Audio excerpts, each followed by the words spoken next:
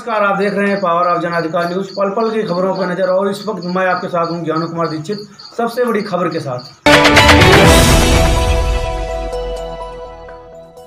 प्रशासन की कार्यवाही के बाद भी अपनी आदत से बाज नहीं आए दुकानदार। आखिर किस घटना का इंतज़ार है? सीकरी के दुकानदार गरीबे पुत्र अली सर को आपको बता दें कि गरीबे पुत्र अली सर व जान मोहम्मद नूरे पुत्र गरीबे ने अपनी दबंगई के चलते अपनी दुकान पूर्व माध्यमिक विद्यालय सीकरी परिसर भवन से सटाकर रख लिया है।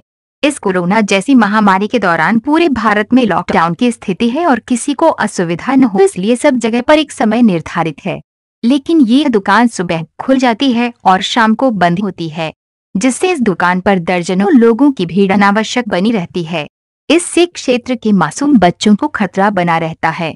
यदि ये दुकान विद्यालय परिसर से हटाई नहीं गई तो कोरोना जैसी महामारी के बाद बच्चों के शिक्षण कार्य में बाधा आएगी। किसी दिन यहाँ एक समस्या बड़ी हो सकती है। भीड़ में लोग बिना मास्क गमछा या रुमाल से मुँह को ढके ही इस दुकान पर बने रहते हैं।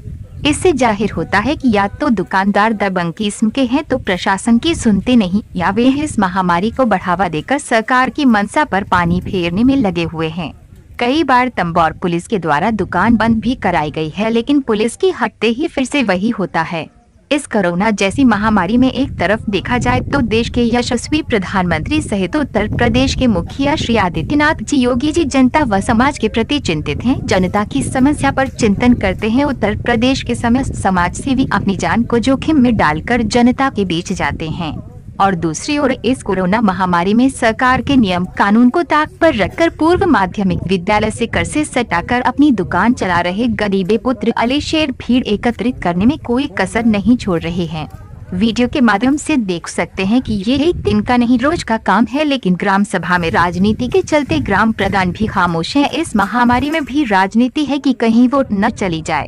क्या ये करना समाज के हित में है? प्रदीप अवस्थी, संवाददाता लहरपुर।